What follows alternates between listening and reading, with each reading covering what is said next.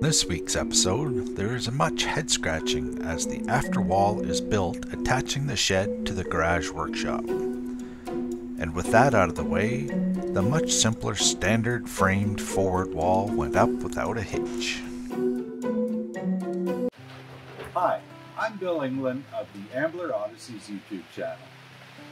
I'm going to build a 48 foot trawler yacht here in the C clamp boat shed in the backyard of my Summerside Prince Edward Island, Canada home.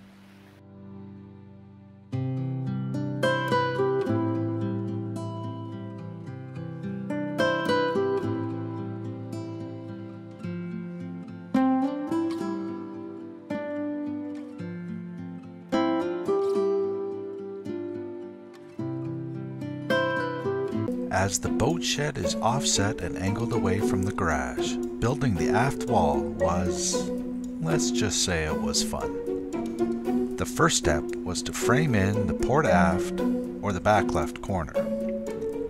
It definitely took some figuring out as the corner was not square and the frame intersected the curve of the first arch. Determining the curved shape of the plywood covering took a little getting used to. In the end, there were only two square frames on the whole aft wall. The starboard aft, or back right corner frame, was a bit larger, but it too burned a few brain cells due to the overhang of the garage roof.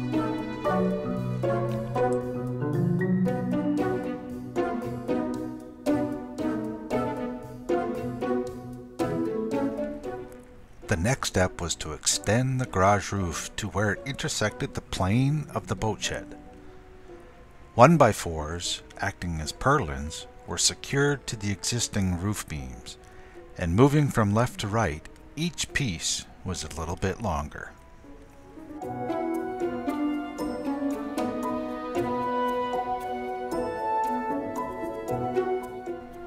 When working alone, you just never have enough hands.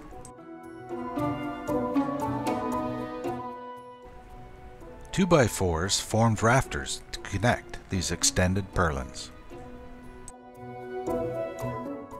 Don't be fooled. When a craftsman stands back to admire his workmanship, it is because they are usually thinking, Okay, genius, how are you going to figure out the next step?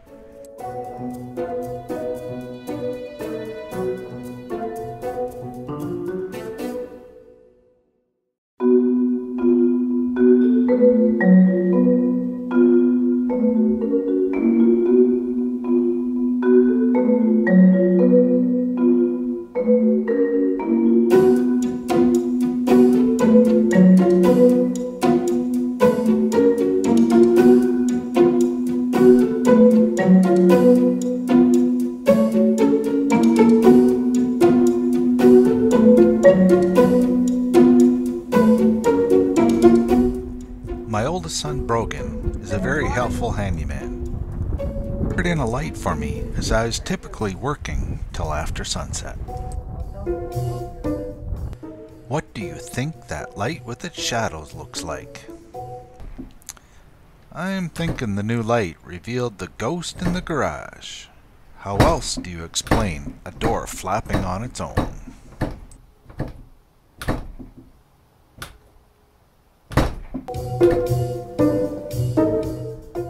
I have appointed Brogan as my technical advisor. He has always excelled at being a handyman, and it has served him well as he is now on year one of a four year carpentry apprenticeship program. And he loves it. Something that will also come in handy as we live in a 120 year old home needing some renovations. Next up is to determine where the roof extension will meet the plane of the first arch of the boat shed. Being too long with this length is okay as the length can always be trimmed. Being too short on the other hand just means more work.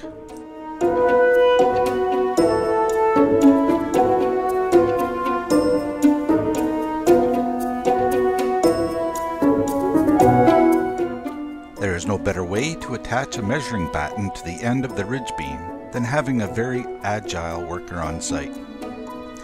But I'm pretty sure this wouldn't fly on any of his company's job sites.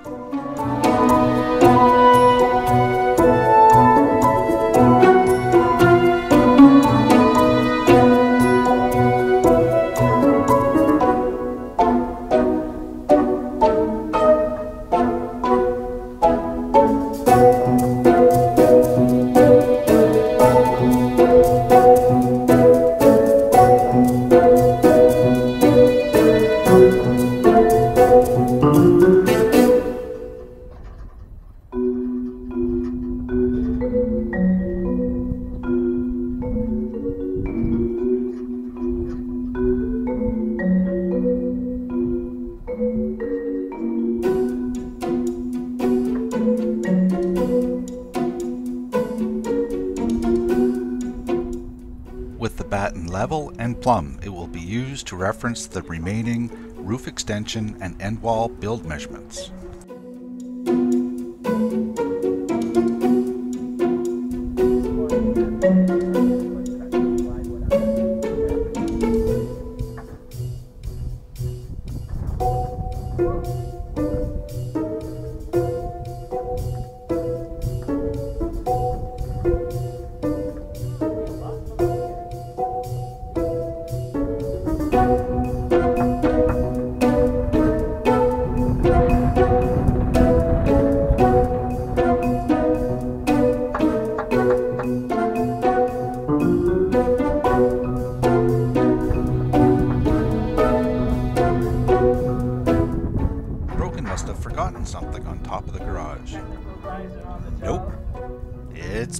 Time.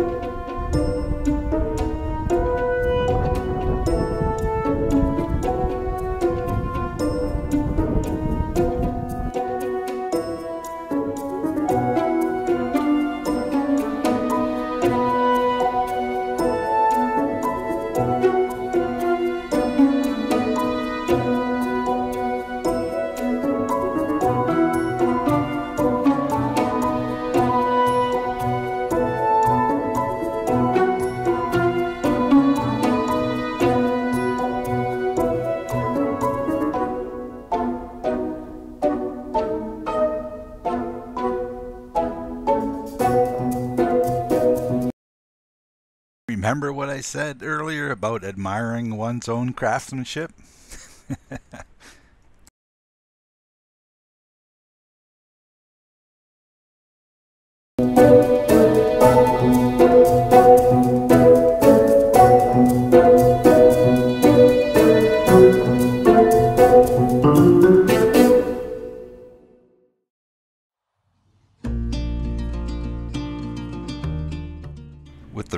extension completed, the vertical frames to the exterior of the arch could be measured, cut, and installed.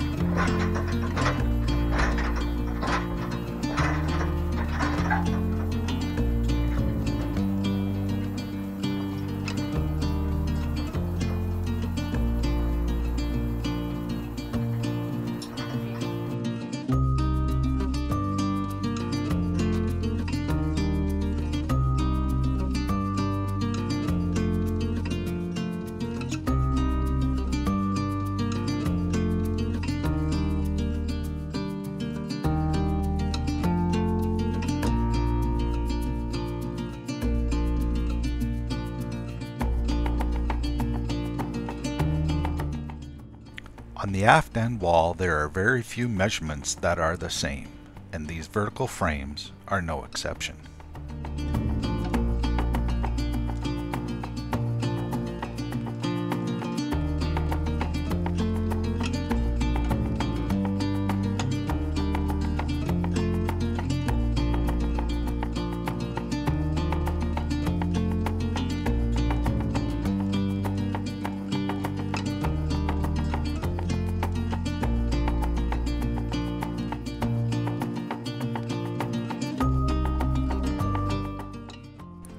Once each piece is plumb, the length is measured between the arch and the A-frame.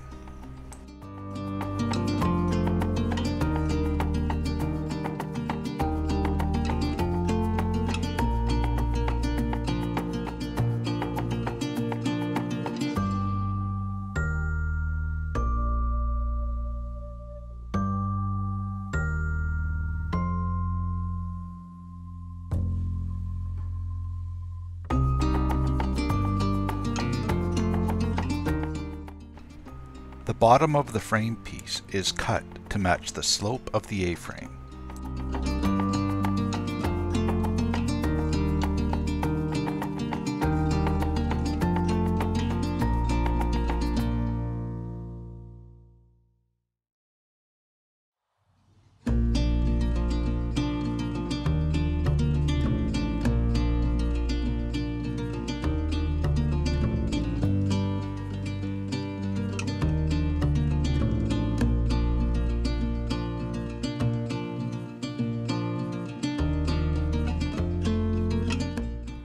After being clamped in place, the top of the frame piece is scribed with the curvature of the arch. This will allow a notch to be cut so that the frame fits snugly against and below the arch.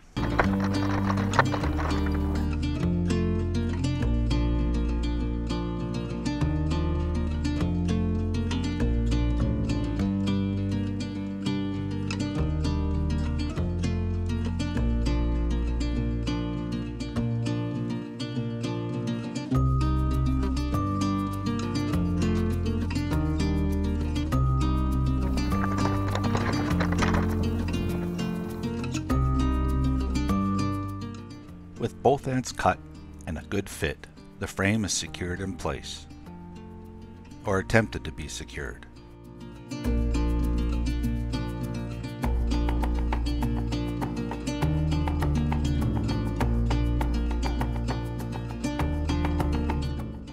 Apparently I need practice at my skew nailing, but fourth time's a charm.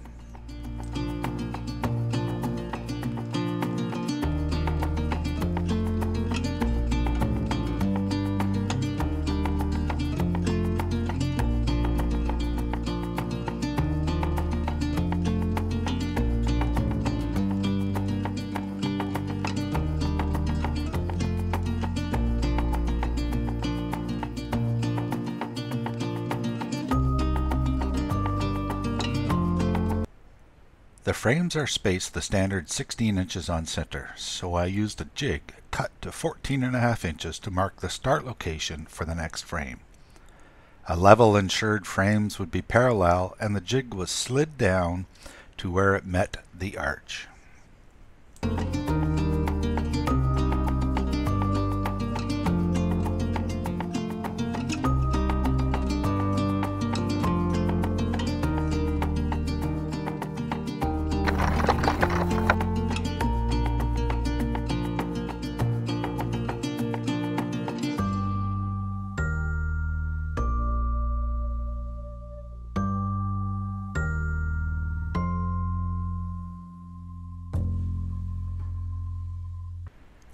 The frame pieces that also overlap the collar ties had two notch depths to measure and cut, one for the arch and one for the collar tie itself. This took a bit more gray matter to figure out, but came out pretty good I think.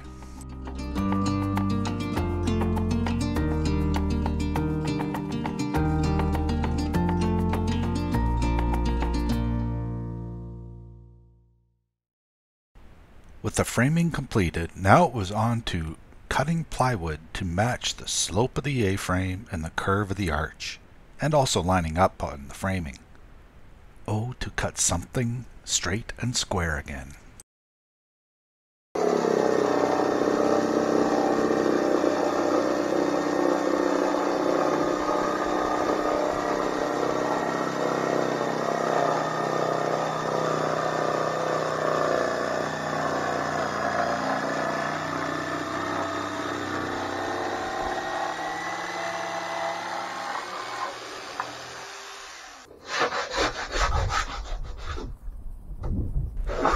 Plastic cover would fold over the top side of the outside of the plywood end wall, the corner edge of each piece was rounded over to hopefully prevent the plastic from chafing and ripping.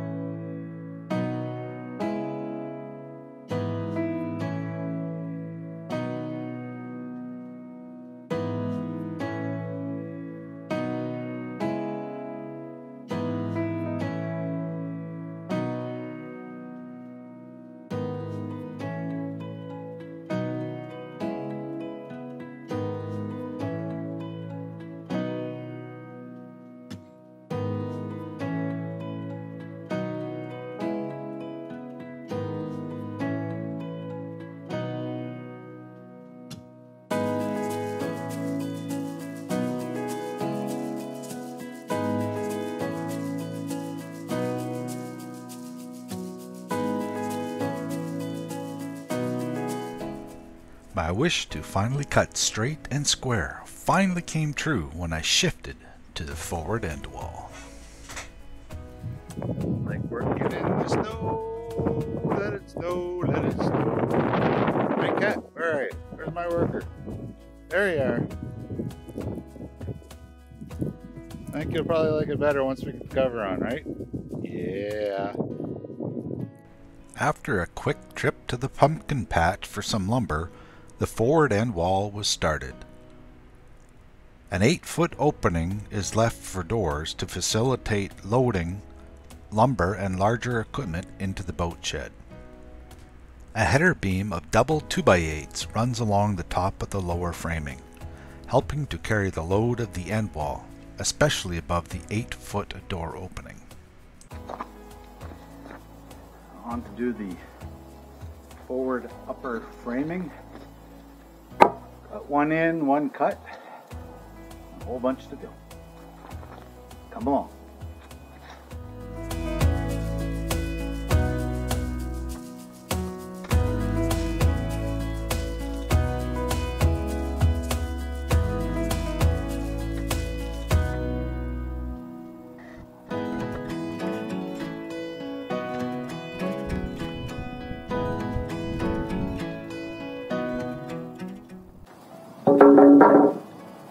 Doing 16 inch on center for the framing.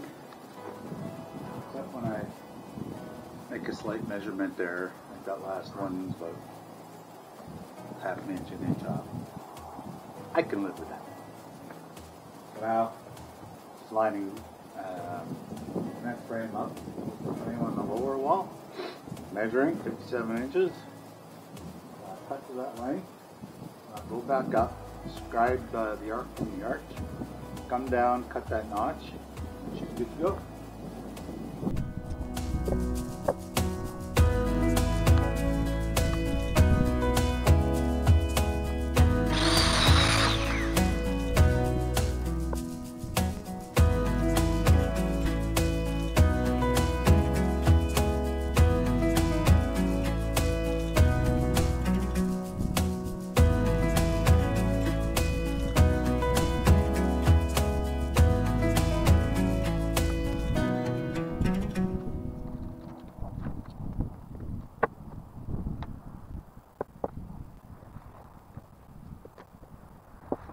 Having, quote, perfected, end quote, cutting arch notches for the aft end wall, things went much faster on this end.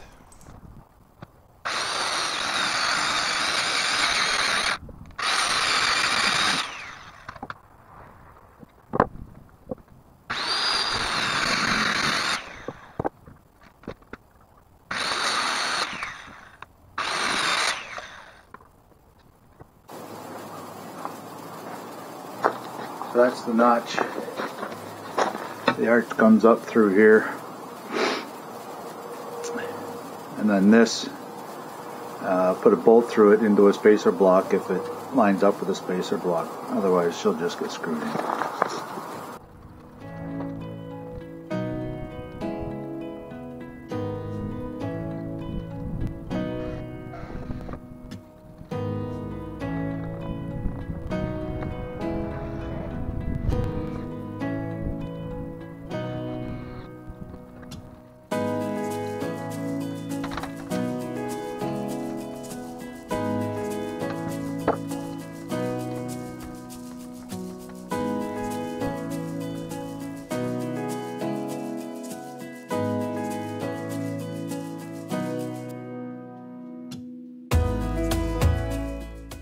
Just because nothing should be straightforward on this boat shed project, I aim to use as much off-cut plywood on hand to reduce the new sheets of plywood I needed to buy. During COVID, the price of lumber increased significantly. A sheet of 3 8 inch standard ply was about $10 more than just 9 months earlier.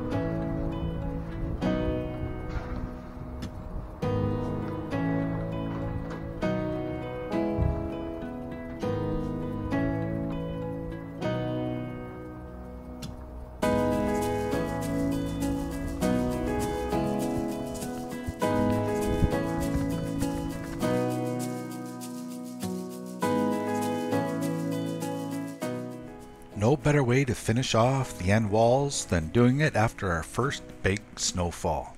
That being said, I'm very happy with how the walls turned out, especially that crazy after wall connecting to the garage. Building a boat should be easy after this.